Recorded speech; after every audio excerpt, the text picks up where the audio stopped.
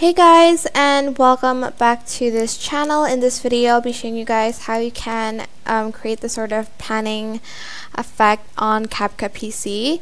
So here you are going to add in this keyframe right here and just kind of zoom in a little bit and then oops and then on the second keyframe, you're going to want to kind of move it to either the left or the right.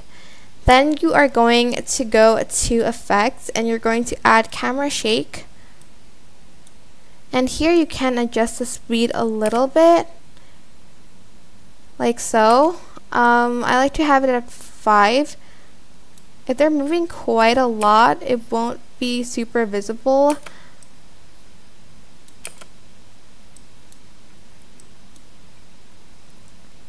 Um, as you can see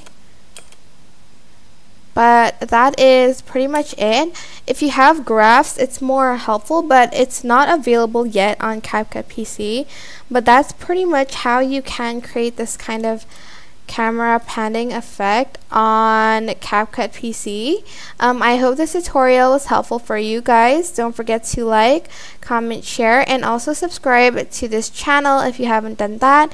If you have any questions, just leave it in the comment section down below, and I will try my best to answer them all for you. Thank you so much for watching. Bye!